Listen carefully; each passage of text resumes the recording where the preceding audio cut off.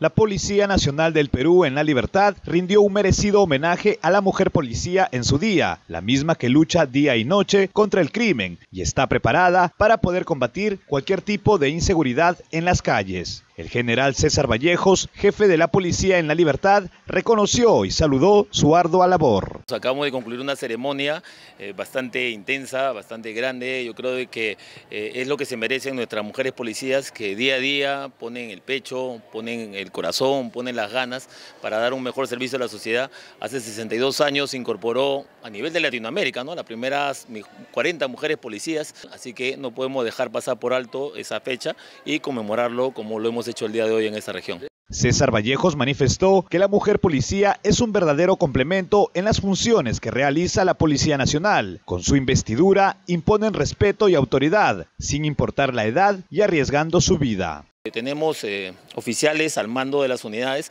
así como suboficiales que comandan grupos operativos, grupos de intervención, grupos de investigación, que, eh, bueno, inclusive ustedes las han visto en, patrulleros, de unidades especiales, de unidades de prevención, en actividades de tránsito, en la comisaría de la familia y en muchas actividades en las oficinas de participación ciudadana, donde cumplen un rol bastante importante en el desarrollo de nuestra sociedad. Informó que en un corto tiempo, las damas de la ley ocuparán cargos importantes y de alto rango, como jefaturas de unidades operativas y comisarías.